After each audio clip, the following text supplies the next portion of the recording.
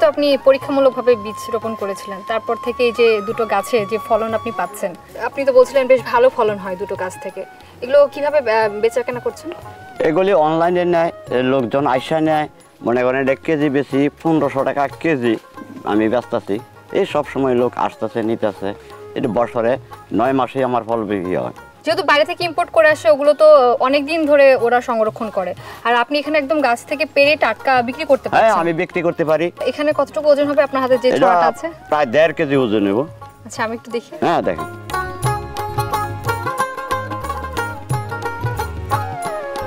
আমার মনে হচ্ছে হ্যাঁ দেড় কেজি হবে। আসলে সবচেয়ে বড় কথা হচ্ছে এই যে মানে যে কেউ দেখে বুঝতে পারবে এটা একদমই টাটকা ফল।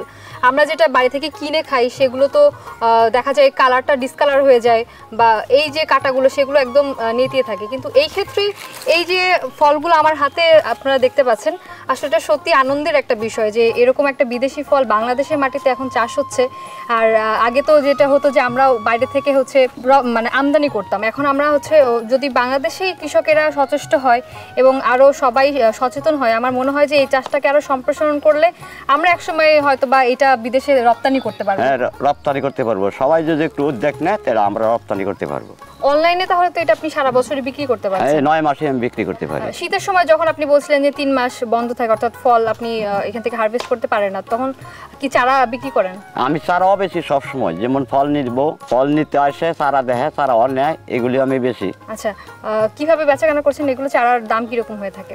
এগুলি যেটা নিয়ে দুই বছরের চারা এক হাজার তিন বছরেরটা দুই হাজার এর চেয়ে যদি মনে করে যে আরও বড় সারা নিয়ে আমি এগুলি চার বছরের সারা আছে এটা সারার উপযুক্ত হিসাবে এটা টাকা দেয়। আচ্ছা চারাগুলো কি একটু দেখব? হ্যাঁ দেখতে পারেন। এই চারাগুলো হচ্ছে আপনার দুই বছরের। তিন ফুট থেকে সাড়ে তিন ফুট। এই চারাগুলো বেশি আমি এক হাজার টাকা আর এইগুলি হচ্ছে আপনার ছয় ফুট সাড়ে ছয় ফুট তিন বছরের। আচ্ছা। এই চারাগুলো বেশি আমি দুই হাজার টাকা পিস অর্থাৎ আপনি যেরকম ফল বিক্রি করে লাভবান হচ্ছেন আপনি তো এখান থেকে চারাও যেহেতু বিক্রি করছেন তার মানে হচ্ছে দুই দিকেই কিন্তু লাভ আছে। হ্যাঁ এটা দোনো দিকেই লাভ আছে। একটা চারা বেচলে যেমন তিন বছর আমার এই চারাটা পাইলেও এই চারাটার মধ্যে আমার কিছু লাভ থাকে এটা দিয়ে আমারই সংসার ইনশাল্লাহ ভালো চলে। আজকে কি কোনো ফল বা চারা বিক্রি করেছেন? এই তো আজকে চারা লাগে আসছে লোক আসছে। এই দুকে আপনি কোন জায়গা থেকে আসছেন?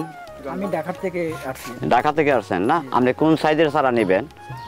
বড় সাইজের বড় সাইজের এইগুলি দেখেন এইগুলি এই চারাগুলো নি এই এটা হচ্ছে তিন বছরের চারা। এই দেখেন এখানে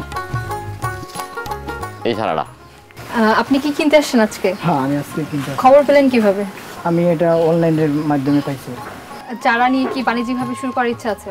হ্যাঁ আমার ইচ্ছা আছে। এর আগে কি নিয়েছেন নাকি আজকে প্রথম আসছেন? না আজকে কত করে নিল চারা? দুই হাজার টাকা। দুই হাজার এটার বয়স কত বলছিলেন তিন বছর। তিন বছর।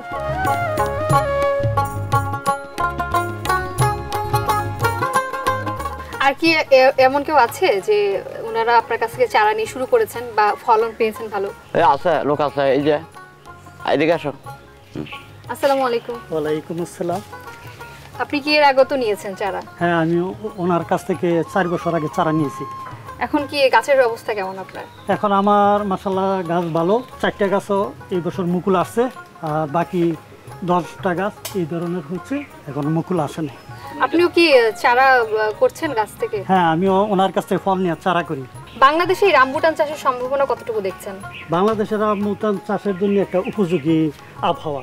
এখানে রামবুতান চাষ করলে আমি আশা করি সবাই উপকৃত হবে এবং এটা বাণিজ্যিকভাবে করলে অনেক উপকার হবে এবং লাভজনক। এই যে বীজ থেকে চারা রোপণ করা এটা প্যাকেজিং করা এবং গাছের গাছ বড় হওয়ার আগ পর্যন্ত যে পরিচর্যা কীটনাশক থেকে শুরু করে গাছের খাবার সব কিছু মিলে আপনার যে খরচপাতি হয় এটা বাদ দিয়ে বছরে বা মাসে আপনার কীরকম আয় ব্যয় হয়? জানি এটি সব কিছু বাদ দিয়ে আমার বছরে তিন থেকে সাড়ে তিন লক্ষ টাকা আয় থাকে।